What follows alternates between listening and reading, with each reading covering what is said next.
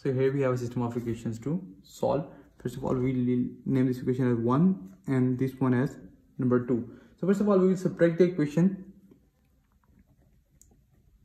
Subtract equation 1 and 2. So we have minus 2x square minus y square minus minus 3x square minus y square equals to 200 minus 300 on simplification, we have 2x square minus y square plus 3x square plus y square equals to minus 100. So we can write that minus 2x square plus 3x square equals to minus 100. So we have x square equals to 100.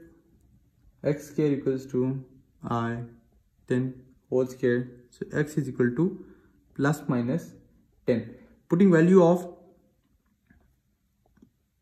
x square in equation 1 so by putting value in equation 1 we will have minus 2 into minus 100 minus y square equals to 200 and then we have 200 minus y square equals to 200 so y square equals to 200 minus 200 y square equals to 0. So solution of the given system will be x equals to minus 10i and 10i and y equals to 0 and 0.